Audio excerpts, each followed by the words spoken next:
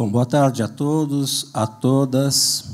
Nós vamos fazer uma inversão da programação em virtude que o prefeito Haddad está a caminho. Então, nós vamos. A segunda parte, que seria posterior à composição das autoridades, nós vamos fazê-lo agora. Esta atividade é uma atividade promovida pela Secretaria Municipal de Educação e onde nós vamos fazer um acolhimento a todos os conselheiros das nossas regiões. Eu convido a subir aqui a professora, permita-me chamar pelo nome que todas a conhecem, professora Cissa, coordenadora dos CELS e da Educação Integral. Já está aqui.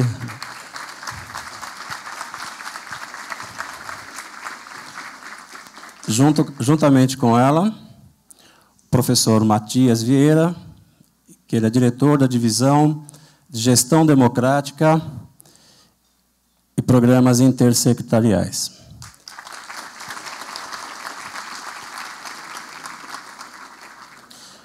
Neste primeiro momento, nós vamos convidar os dirigentes, acompanhado dos representantes de sua região, que vão receber o certificado e vão retornar à plateia novamente. Tá? E depois nós vamos fazer a composição após a chegada do prefeito. Então eu convido para receber um certificado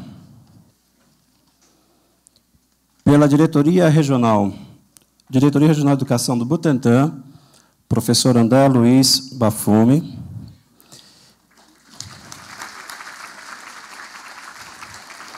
juntamente com ele, o conselheiro que vai representar a região do Butantã, que é o senhor Tiago Patrício Valentim de Luz.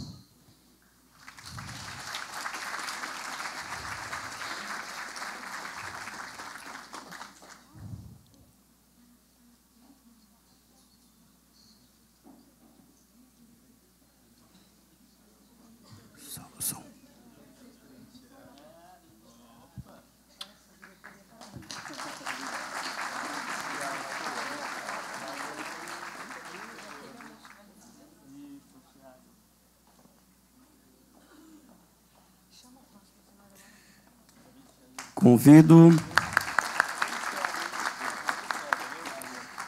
a Diretoria Regional de Educação de Campo Limpo, professor Alexandre Ferreira Cordeiro. Está presente. Juntamente com ele, a representante do CRES, a senhora Maria José Lima Dias.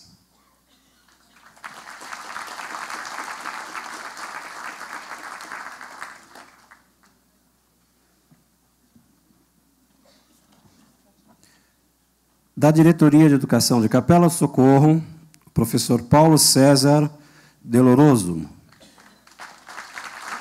juntamente com, a, com o conselheiro do Cresce, de Capela do Socorro, o senhor Luiz Francisco dos Santos.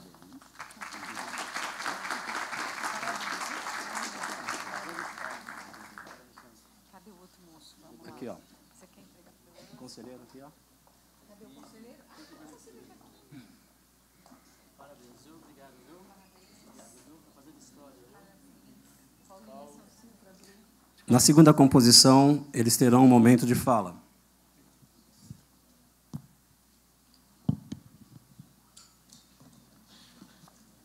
Representando a Diretoria Regional de Freguesia do Ó Brasilândia, professora Eliana Pereira.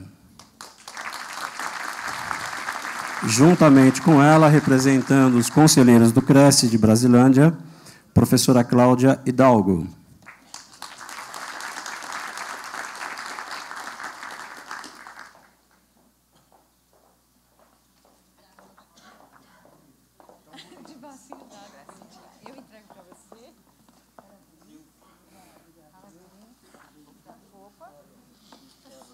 Aí, se vocês puderem ir por aqui. Representando a Diretoria Regional de Educação de Goianazes, professor Edson Luiz Araújo.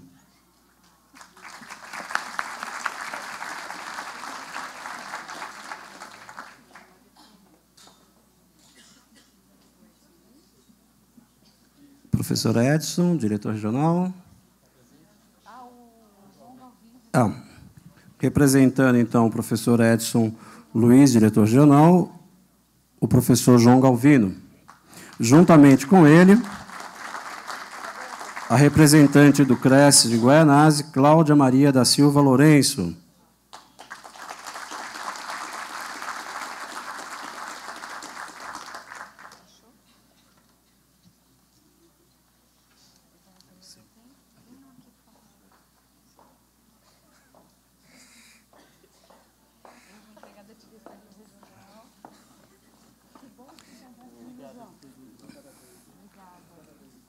Em seguida, diretoria do Ipiranga, professor Braz Rodrigues Nogueira, acompanhado da representante do CRES, professora Terezinha Sarteste Rafael Pinto.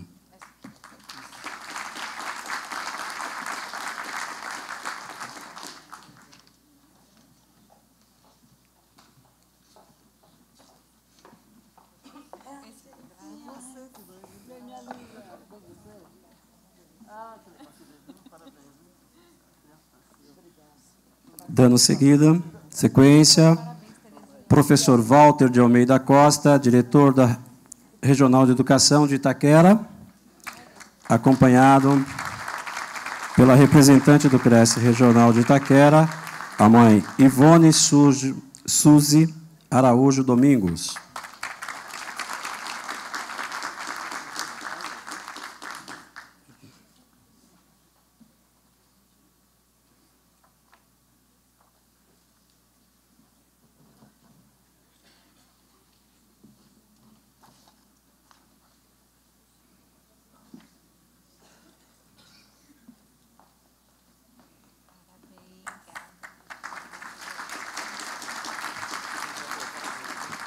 Representando a diretoria regional do Jaçanã Temimbé, a professora Maria Filomena. Ela está representando o, profe profe o professor Roselei Júlio.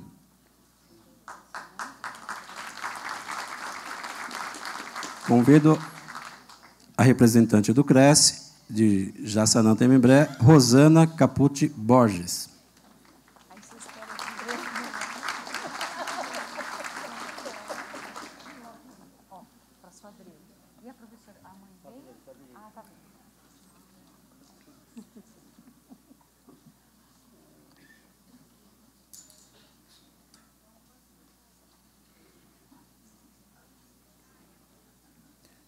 Diretoria Regional da Penha, o dirigente professor Marcos Mendonça. Quem vai representá-lo é a professora Vitalina de Gracia, ou Vita, como todos conhecem.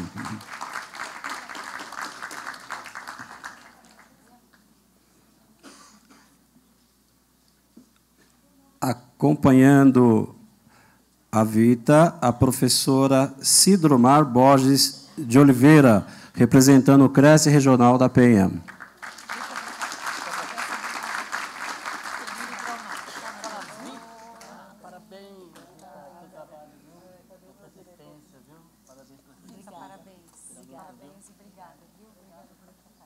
Pela diretoria regional de Pirituba, Jaguaré, professor Marcos Manuel dos Santos acompanhado pelo representante do Cresce Regional, professor Saulo Ferreira dos Santos. Braghini.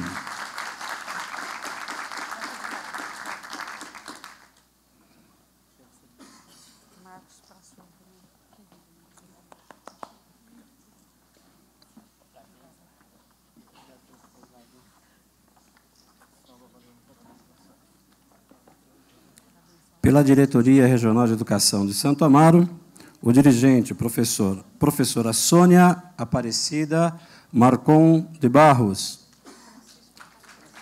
O professor Francisco, que vai estar, estar representando a dirigente, acompanhando o representante do Cresce, da região, senhor Maurício Ribeiro dos Santos.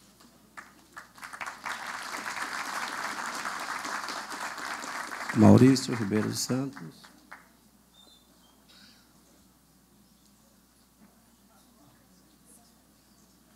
Parabéns, Maurício. Parabéns, eu vou falar quando você for É verdade.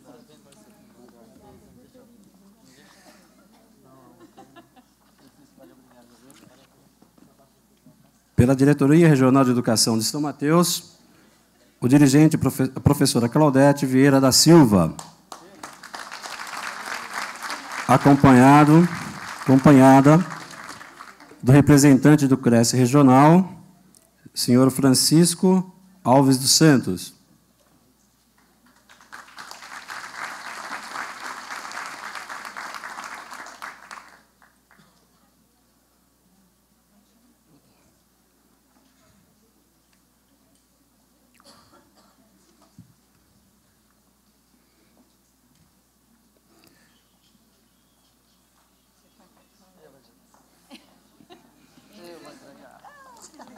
Pela Diretoria Regional de Educação de São Miguel Paulista, o professor Manuel Romão de Souza, dirigente da DRE. Acompanhado pelo representante do Congresso Regional de São Miguel, professor Ivo dos Santos Carvalho.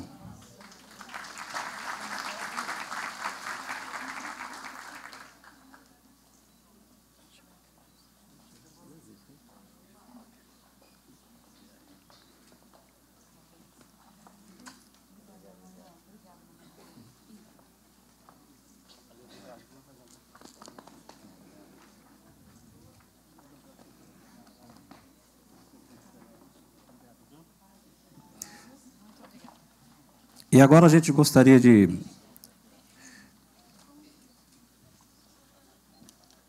homenagear as pessoas que compõem o GT, Grupo de Trabalho da Gestão Democrática nas regiões, que são assim o nosso braço direito na região, e são eles que articulam todos assim a região para que todos os eventos que acontecem na secretaria se realizem com a melhor qualidade possível. Então, eu gostaria que, ao chamá-los, se eles pudessem ficar em pé, ou até, se não for muito incômodo, vir à frente. Pela diretoria de Butantã, Roger está presente. Campo Limpo, professora Deise Souza. Ou vamos, acredito que eles estão empalhados na plateia, então a cada nome, vamos fazer uma, um grande aplauso a, a essas pessoas. Andréia Viana Tavares, de Capela do Socorro. Também de Capela do Socorro, Maria Vilani. Ainda por Capela do Socorro, Edivaldo Nascimento. Freguesia Brasilândia, professora Cláudia e Elani. Elaine. Pela diretoria regional de Guaianazes, Samuel Firmo.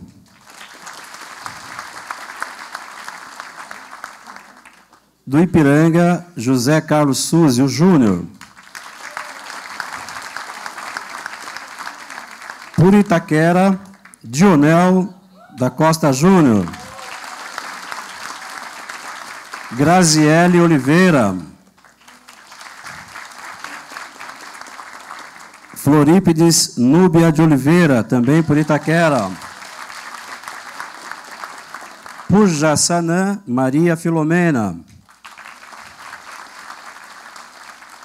Por São Miguel, Ivo. Penha, Vitalina, ou Vita, de Grazia. Professora Miriam Mansano. De Pirituba, Saulo Ferreira dos Santos. De Santo Amaro, José Soares. Maria Aparecida Sonvesso. Por São Mateus, Antônio Amaral da Silva.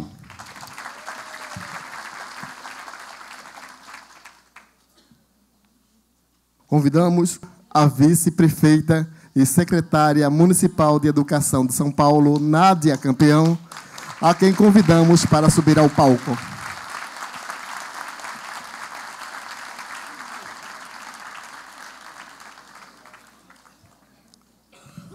É a Prefeitura da cidade de São Paulo que, por meio da Secretaria Municipal de Educação, dá início à cerimônia de acolhimento de formação dos conselheiros do Conselho de Representante dos Conselhos de Escola.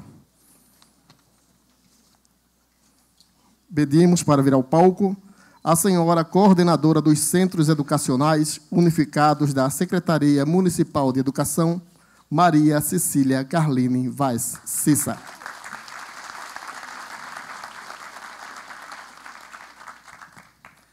Convidamos o senhor diretor-presidente da Escola do Parlamento da Câmara Municipal de São Paulo, Cristi Ganzerti Pato.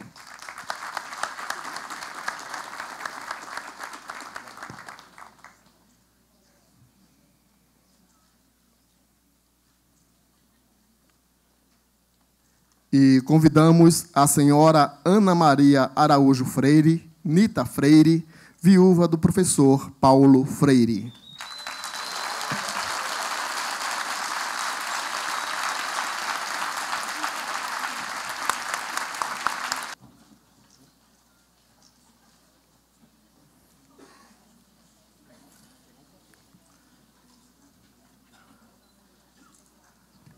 Assim composta a mesa, convidamos para fazer uso da palavra a senhora coordenadora dos Centros Educacionais Unificados da Educação Integral, Maria Cecília Carline Vaz. Boa tarde a todos e todas, meninos, meninas, trabalhadores da imprensa que já estiveram conosco lá atrás, no camarim. Agradecer primeiro e com infinitos agradecimentos, a paciência dessa plateia maravilhosa, o calor dessa plateia, a dedicação de vocês de virem até aqui e de nos esperar. E agradecer a paciência com que vocês nos receberam e o carinho com a nossa querida Anitta Freire. É um momento assim de é, colher frutos de uma luta imensa que foi feita por muitos pais, mães, professores, diretores, coordenadores, é, diretores regionais de educação para a gente chegar a esse dia. Então, a minha fala nesse momento é só de boas-vindas e agradecimento a vocês todos. Muito obrigada.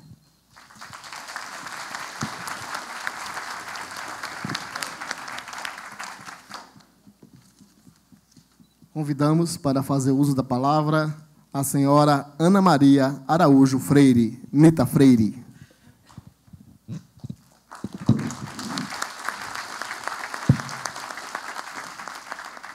Boa tarde a todas e a todos. Antes de tudo, quero agradecer essa acolhida fervorosa, respeitosa com que vocês me me tiveram junto a vocês. E eu, então, ju eu junto a vocês e vocês junto a mim. Quero agradecer essa acolhida que foi para mim muito emocionante. Eu quase, quase que chorei ao subir aqui a escada. É, eu vou aproveitar para dizer alguma coisa. O, os meninos e meninas que fazem o serviço de imprensa é, que vocês chamam como é o imprensa jovem, vários grupos da imprensa jovem. E um deles me perguntou: o que, que a senhora acha do Cresce? Eu disse: olha, é, é importante o Cresce? Eu digo: é importante e é necessário, porque quando se tem um governo autoritário, não há necessidade de conselhos vem uma ordem superior de um senhor ou de uma senhora todo absoluto, e essa ordem vai sendo delegada sempre para aquele inferior hierárquico até chegar às crianças e aos pais da escola, professores e pais da escola. Mas quando se quer um governo democrático, quando esse governo é realmente, autenticamente democrático, é necessário que ele escute a voz daqueles que estão se formando para serem sujeitos históricos, que são as crianças, os estudantes, e, portanto, dos educadores dessas crianças, que são os pais, quer dizer, pais e mães, e os professores e professoras, as diretoras e diretores de escola, os, as merendeiras, e os vigias. Era assim que Paulo entendia todos como agentes do processo educacional. Então, o Cresce, e hoje essa festividade que ressurge com o que Paulo tinha começado há 25 anos passado, ressurge com tanta força, com tanta pujança, porque eu também disse a um dos garotos que me entrevistou: é muito difícil se arrancar e se extinguir aquilo que Paulo propôs e aquilo que ele fez, em qualquer dos, dos espaços onde ele trabalhou. É, não é como erva daninha que você arranca e acabou-se. Não. Paulo, apesar de alguns esforços, ou de muitos esforços, para extinguir, para anular aquilo que ele fez de, de 1989 a 1991, por dois anos e meio, quase dois anos e meio à frente da secretaria, foi um trabalho de uma sabedoria, de uma proficiência, de uma inteligência tal, de um respeito pelo outro e pela outra, de um da procura da tolerância em todos os momentos, que esse trabalho dele não pode, não foi esquecido. E eu vejo, quando vocês me receberam aqui, que Paulo ainda está no coração, na mente, no corpo consciente dos educadores da rede municipal de São Paulo. Isso me alegra muito. Muito obrigada.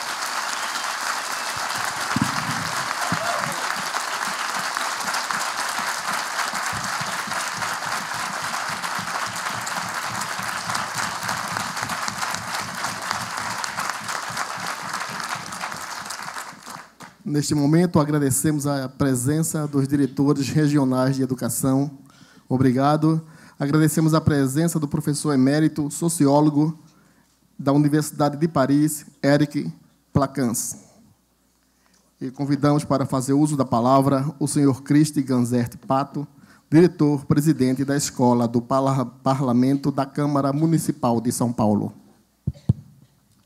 Boa tarde a todas, boa tarde a todos cumprimentar os colegas de mesa, a professora Cissa, a professora Anitta, e a nossa vice-prefeita e agora secretária municipal de educação, Nádia Campeão. É, prazer estar aqui entre educadores. Eu estou diretor-presidente da Escola do Parlamento, mas eu também sou educador.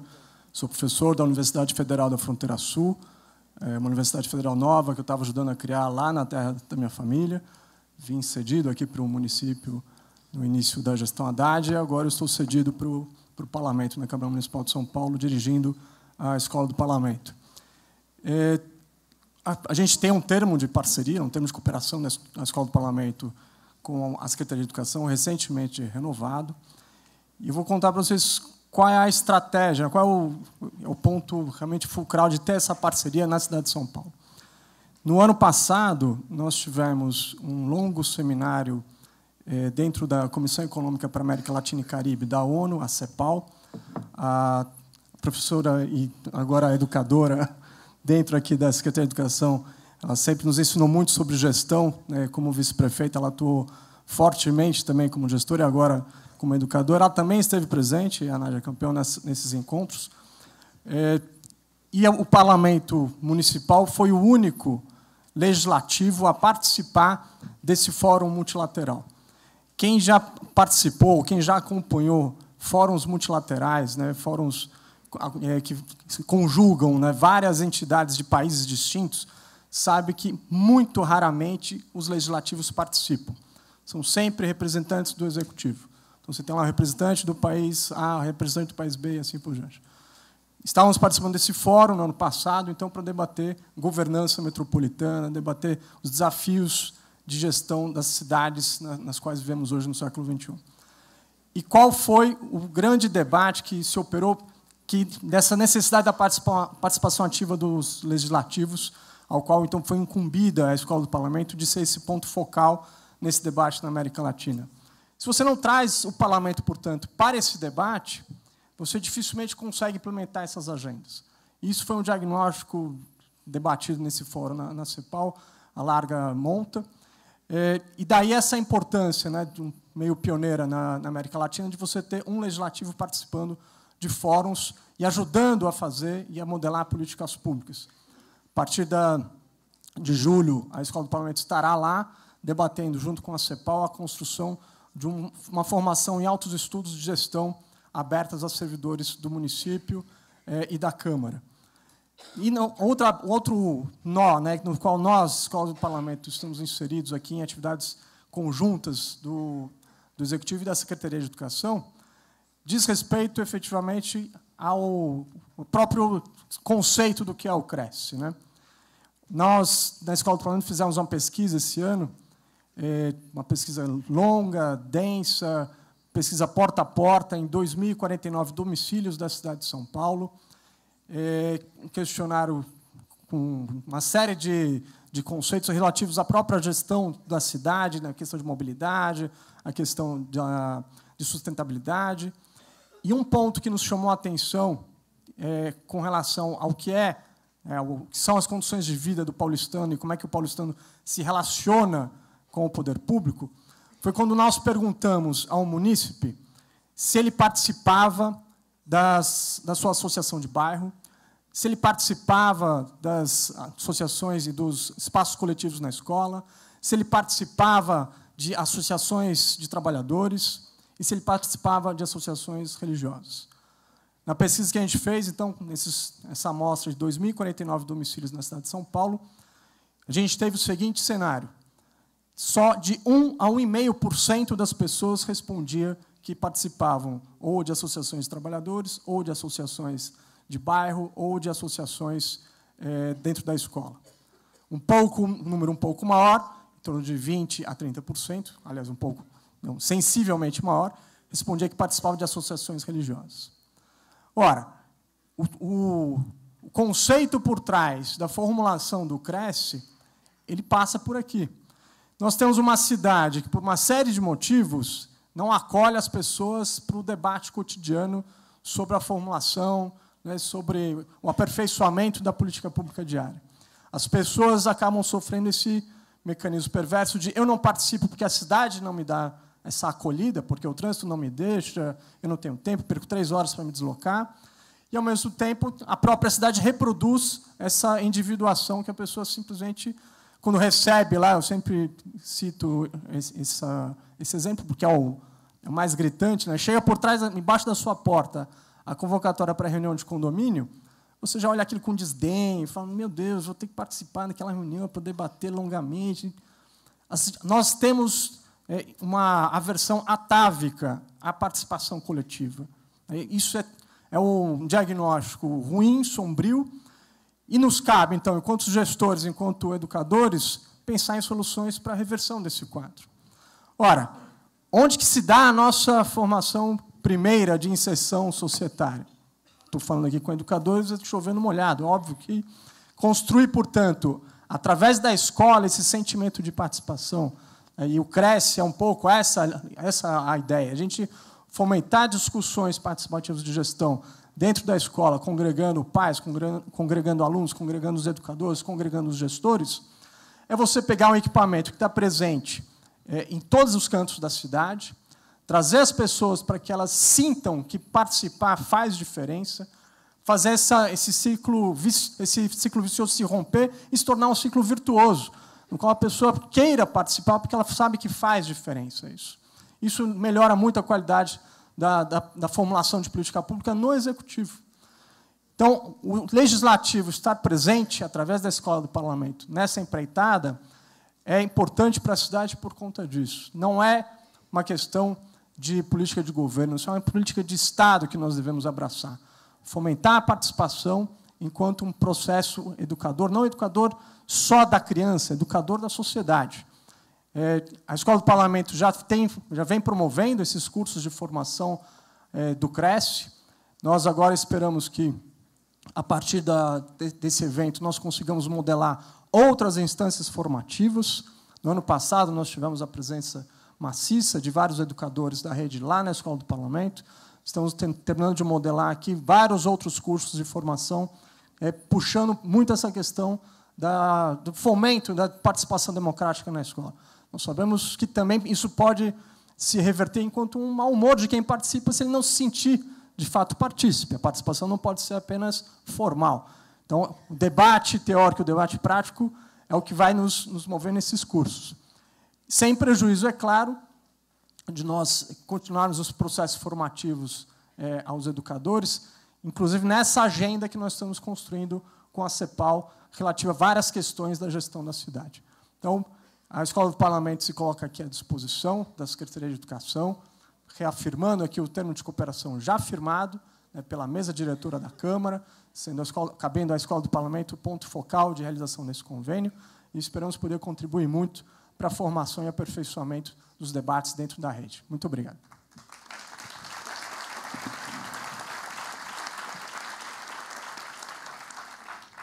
Agradecemos as palavras do senhor Christian, Christi, e agora, com a palavra, a senhora vice-prefeita e secretária municipal de Educação de São Paulo, Nádia Campeão.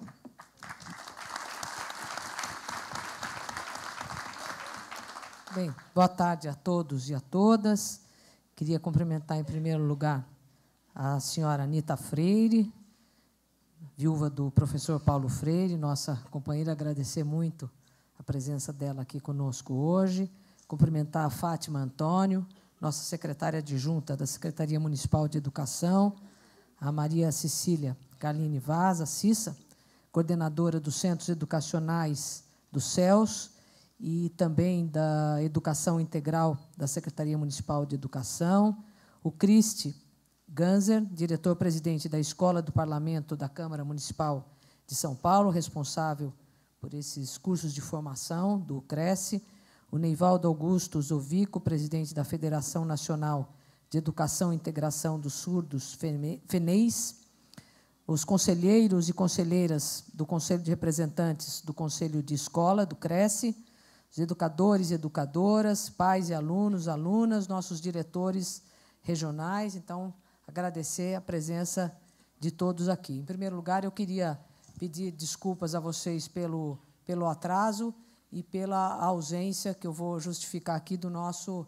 prefeito Fernando Haddad. Nós esperamos até um pouquinho mais para ver se conseguíamos ter a presença dele aqui, mas nós tivemos que antecipar agora à tarde a abertura de um, de um dos espaços lá no centro da cidade, aqui na Galeria Prestes Maia, para acolher um número maior dos nossos, da nossa população de rua, em função da queda muito brusca hoje da temperatura pela manhã.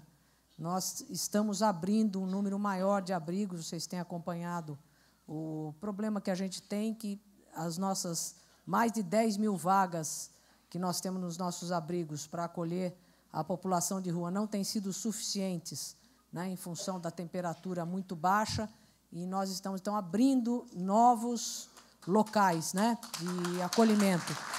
E esses, esses locais estão sendo preparados, mas hoje de manhã a temperatura começou de um, de um jeito e, de repente, tivemos uma queda muito, muito acentuada e o abrigo estava previsto para abrir amanhã e o prefeito pediu para antecipar para hoje. Então, teve uma, uma corrida do pessoal de SMADs e eles conseguiram abrir hoje, agora por volta de 14 horas. Então, pediram para que o prefeito estivesse presente, e nós vimos se dava tempo de ir, vir para ir para lá e vir para cá, mas ficou difícil, então ele está lá agora fazendo a abertura desse, desse local na Galeria Prestes Maia, então pediu desculpas pela ausência dele aqui, e eu vou fazer o possível para substituí-lo, pelo menos como secretário de Educação, eu estou no lugar certo na hora certa. mas substituí-lo aqui como, como vice-prefeita. Eu tenho certeza que ele gostaria muito de, de poder estar aqui com vocês também.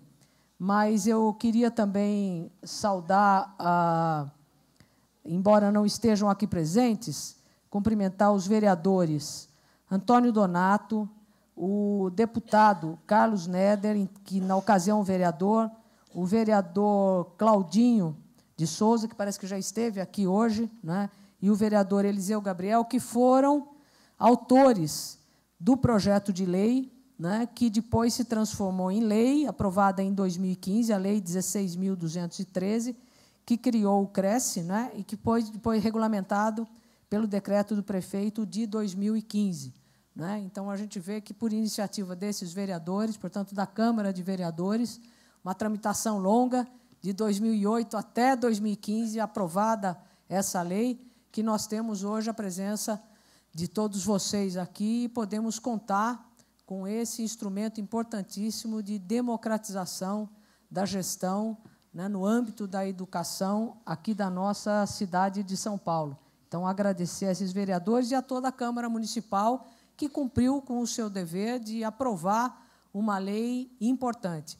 E nós temos a satisfação de, no governo do prefeito Fernando Haddad, ter não só né, acompanhado a aprovação, ter sancionado essa lei, ter regulamentado essa lei, como outros instrumentos importantes também que nós tivemos de democratização da gestão pública da cidade. Isso foi também assim com a, a criação e regulamentação dos, dos, aí no caso a regulamentação dos conselhos de representantes de subprefeituras, que já nós já estamos na segunda eleição né, desses conselhos e outros conselhos que foram também regulamentados na nossa gestão. Isso também foi assim com o Conselho Municipal de Transporte né, e tantos outros conselhos em que nós já tivemos várias eleições ao longo desses três anos e meio de gestão.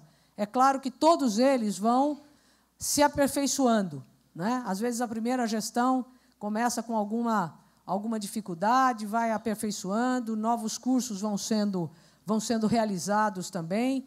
Né? E a gente tem certeza de que todos esses conselhos vão cumprir cada vez mais um papel importante nisso que a gente chama dessa gestão democrática, no papel da cidadania, como o, o Christian mencionou aqui, a professora Anitta também falou sobre isso aqui, né, no sentido da, da participação cada vez maior da comunidade nessa troca importante que tem no debate com o poder público dos destinos das políticas públicas na cidade de São Paulo. E no caso da educação, isso é ainda mais importante. Né? Aqui nós temos os conselhos de escola que fazem esse elo fundamental entre a escola, né, os pais e a comunidade. Isso é, é decisivo. Né? Não se pode pensar na escola sem esse enlace com o que acontece na família, com os pais e muito menos com o que acontece na comunidade. Né? Mas a gente também não pode deixar de articular o que acontece no nível local daquela comunidade com o que acontece em toda a cidade. Então, esse, essa articulação de todos os conselhos né? e de todas as DREs, de todas as 13 DREs, para que a gente possa debater também a política municipal de educação, é indispensável. Eu acho que a gente faz isso através do Plano Municipal de Educação e com outros, com outras instâncias, com outras, com outros parceiros importantes também nesse debate, né? Eu me refiro aqui ao Fórum Municipal de entidades que se articulam em torno da, da educação, né? me refiro também ao Conselho Municipal de Educação. Enfim, nós temos condições de, de participar de uma discussão né, que já foi feita em, em, torno do Plano Municipal de Educação e que pode ser um canal, né, um, um vamos dizer assim, um norte importante eh, em torno do qual todos nós vamos nos orientar para desenvolver as políticas públicas da educação na cidade de São Paulo. Então, nós temos, nós temos um programa em comum. Né? Em torno desse programa, dessas metas para os próximos 10 anos, né? o nosso plano é de 2015 até 2025, então ele, ele já está em andamento, mas em torno desse plano comum, desse compromisso em comum, eu acho que nós podemos fazer o debate, fazer o diálogo, se ele pode ser uh, uh, mais, uh, mais rápido, né? se nós temos que aperfeiçoá-lo, se em que momentos a gente tem maiores limitações para cumpri-lo. Acho que a gente passa por um momento complicado, né? um momento mais difícil, seja na, na, no quadro econômico, né? na crise econômica que a gente passa no país, isso traz limitações. Né? Nós, esse ano, por exemplo, a gente já vive um problema orçamentário de certa gravidade. Ah, o município já tem queda de arrecadação da ordem de 6%. Então, isso tem um impacto no orçamento da cidade. Talvez o ano que vem a gente também sinta esse impacto. Né? É no estado de São Paulo, é em todo o país, mas é no estado, é na cidade de São Paulo também. Isso traz dificuldades para cumprimentos de metas de forma mais acelerada. Então, a gente tem que ver como é que isso será absorvido em todas as áreas, como nós vamos lidar com esse problema, como vamos manter as nossas prioridades, as nossas metas para a educação, né? nossos desafios de universalizar ah, o atendimento na educação infantil, né? continuar expandindo a criação de, de vagas, de matrículas de zero a três anos, enfim, aumentar, continuar aumentando a qualidade social na educação, enfim, nós temos aí muitos, muitos compromissos com a educação. Mas também nós temos problemas de ordem política. Né?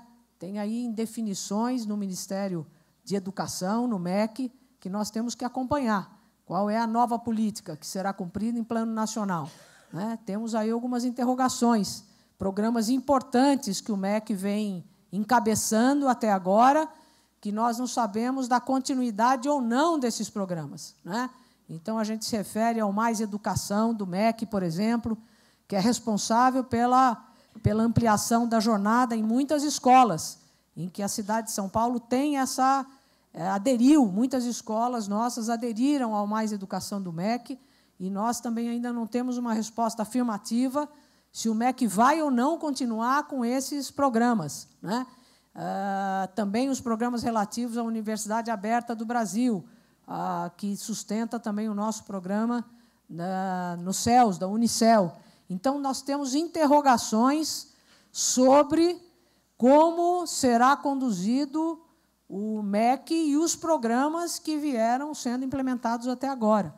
Então, tudo isso é preciso que a gente mantenha um, um diálogo muito próximo com as escolas, né, com todas as unidades educacionais, com a rede municipal de educação e com os pais, né, não só com os educadores, mas com os pais e com a comunidade que acompanha de forma muito atenta os desafios da educação. Né? Então, a educação realmente é, é, um, é, um, é um, um ativo que, que nós temos na cidade importantíssimo. Né? para perseguir uma, uma cidade com qualidade de vida, com possibilidades de cidadania. Tem um, um, um, um educador que, que nos acompanha na, na Secretaria de Educação que, que sempre nos provoca dizendo o seguinte: olha, se fala muito de cidade educadora, mas nós não temos em São Paulo ainda uma cidade educadora. Né? A nossa cidade, muitas vezes, é o contrário, é uma cidade deseducadora. Né? Às vezes é uma cidade hostil né? Às vezes é uma cidade que muitas vezes violenta, né? às vezes é uma cidade que segrega. Né? Ela ainda não é essa cidade educadora que nós almejamos. Né? Então, isso torna ainda mais importante os nossos investimentos em todas as áreas, né? investimentos financeiros, investimentos em recursos humanos, investimentos em energia da comunidade, em educação. Né? Então, nós não podemos, não podemos desviar desse, desse rumo. E acho que a presença da, da Anitta Freire aqui conosco é um, um estímulo, né? é uma força a mais para nos lembrar sempre de que esse caminho, o caminho que o professor Paulo Freire insistiu muito, né? como secretário municipal de educação que ele foi, como um dos maiores educadores né, que o Brasil já teve, né, de renome internacional, de prestígio aqui no Brasil e fora do Brasil, não é à toa. Né? Não é porque se chamava Paulo Freire, é porque ele construiu um pensamento na educação de enorme valor, um pensamento generoso na educação, né? um pensamento de inclusão na educação, um pensamento de tolerância, né? um pensamento de se dirigir a todos, sem discriminação e sem preconceito. E, infelizmente, isso está em discussão no Brasil, né? no Brasil de hoje, na educação de hoje. Dizer, tem gente que acha que não, que a educação tem que ser uma educação, ah, como se fala, hoje está se dizendo, né, é, é educação sem política, como se a educação pudesse ser uma coisa anódina, né, uma, uma educação sem posição, uma educação descolada da realidade. Né? Então, a educação não pode ser assim. A educação tem que ser ah, mergulhada na realidade social que um país vive, né? A educação tem que ser uma educação crítica, a educação tem que ser uma educação para o crescimento da cidadania das pessoas, né? se dirigir às, às crianças, aos homens e mulheres que participam da vida como, como ela é. Então, é essa educação que nós queremos, uma educação com qualidade, né? uma educação que enfrente os problemas que as pessoas comuns enfrentam no seu dia a dia. Né? Então, é para isso que a gente conta com esse diálogo, com essa parceria e que a gente conta com os conselheiros e conselheiras que aqui estão, que se dispõem né, a dedicar o seu tempo, a sua energia a essa participação. A gente sabe que não é fácil. Né? Quem se dedica a participar dos cursos de formação, a participar de uma reunião no sábado, no domingo, num dia de semana, à noite, né, a dar um pouco de si para criar esse movimento, vale muito, vale ouro nos dias de hoje. Né? Então, nós somos muito gratos a vocês por estarem aqui e por se disporem a colaborar com a educação pública, gratuita e de qualidade na cidade de São Paulo, né? em nome das crianças, dos jovens, do nosso futuro, da nossa sociedade. Então, muito obrigado a todos vocês. Parabéns, muitos êxitos nessa empreitada.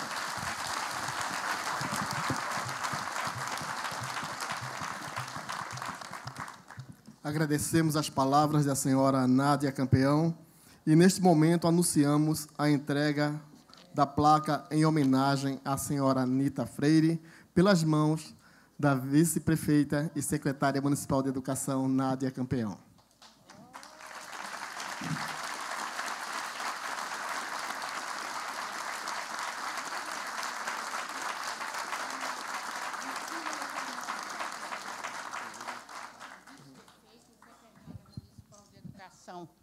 de São Paulo, o reflexo aqui, de educação, Nádia, eu acho que é, né?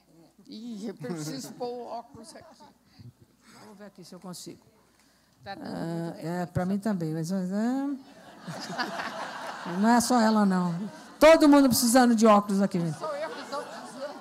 É, é, tá. Tá duro aqui. Melhor ser assim, Mas, enfim, porque eu tenho ceratocone, eu também não enxergo. É um agradecimento e uma homenagem à, à presença da, da nossa Anitta Freire aqui. É uma, uma placa em homenagem e agradecimento.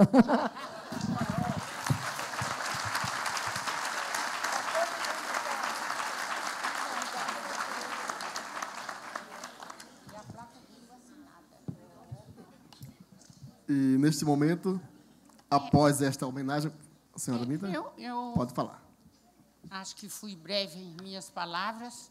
Antes, agradeço muito eh, a recepção e agora a essa placa que vem em nome da prefeita, em bom tempo vem em nome da prefeita, que eu considero que reconhece não somente o meu trabalho em prol da educação, durante, sei lá, 40, 50 anos, a vida inteira. Eu sou filha de educadores e então estive quase sempre, ou desde muito jovem, voltada para os problemas da educação no Brasil. Mas esse, essa homenagem se deve, eu acho que muito e muito em parte, talvez sobretudo, a eu ter sido a companheira de Paulo, e não uma simples companheira da vida cotidiana, de cuidar da casa. não tinha filhos, não tivemos filhos, casamos na maturidade.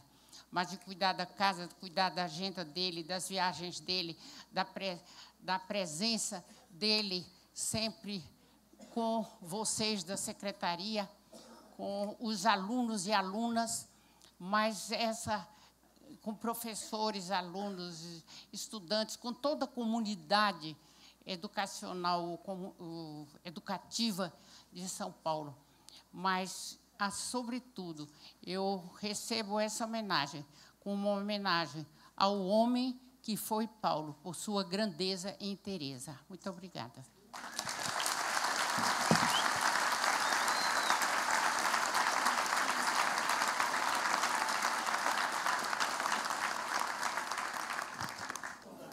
Deixo então a palavra com vocês, professor Matias e professor Manassés.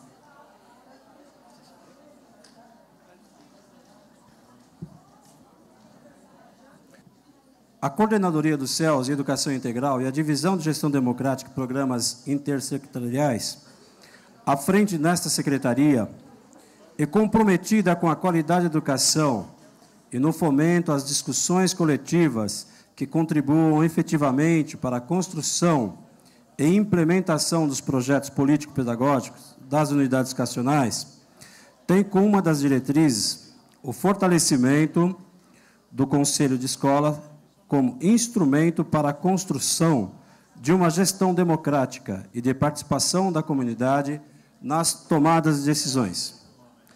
Neste contexto, está o Conselho de Representantes de Conselho de Escola, o CRESSE, criado pela Lei 16.213 de 2015, regulamentada pelo Decreto 56.520 de 2015, sendo instância de expressão democrática e de representatividade, envolvendo pais, educadores, educandos, na implementação de políticas educacionais na cidade de de São Paulo.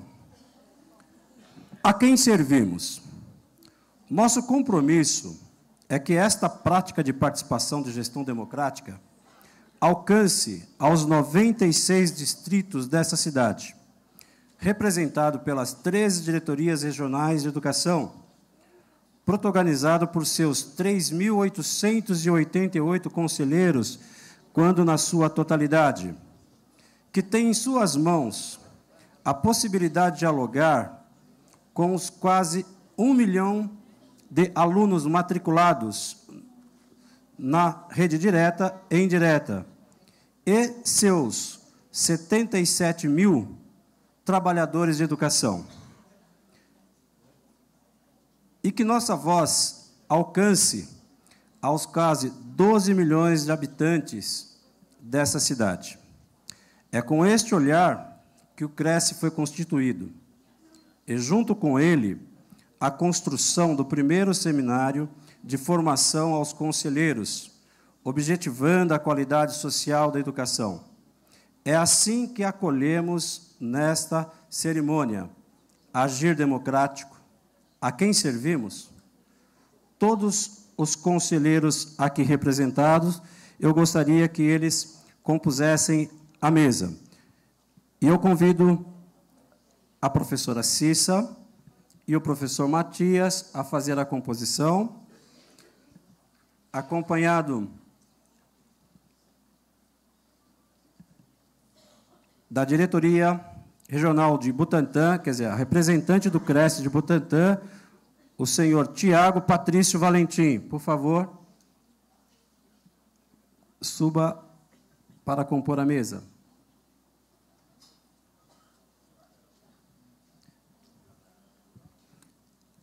A diretoria regional de Butantã possui 83 unidades educacionais e um número de matriculados de 34.772. E aí estão os distritos que compõem a esta região. De Campo Limpo, a senhora Maria José Lima Dias. Campo Limpo, 184 unidades educacionais diretas e 101 mil alunos matriculados. Capela do Socorro, o senhor Luiz Francisco dos Santos, que já se encontra aqui à frente. Freguesia do Ó, professora Cláudia Hidalgo.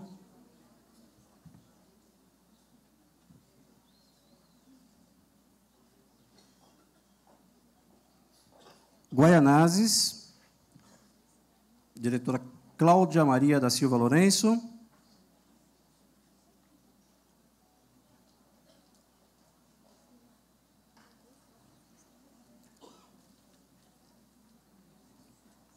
Dredi Ipiranga, professora Terezinha Sarteste.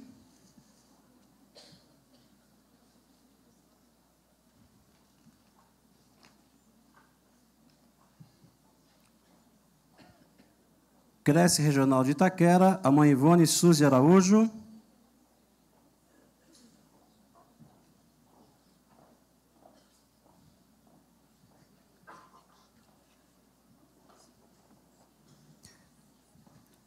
Jassanana Tremembé, a senhora Rosana Capucci Borges, representando o Cresce Regional.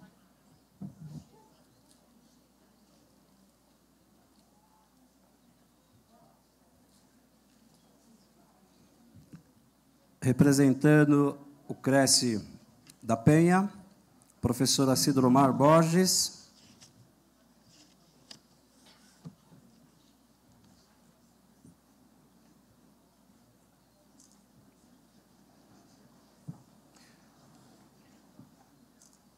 Representando a ADRE de Pirituba, Jaguaré, o professor Saulo Ferreira.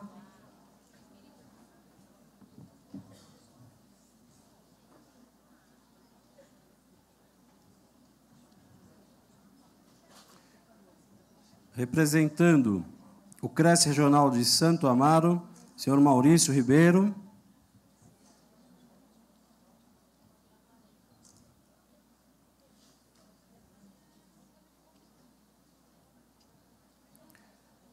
Representando o Cresce Regional de São Mateus, senhor Francisco Frankland.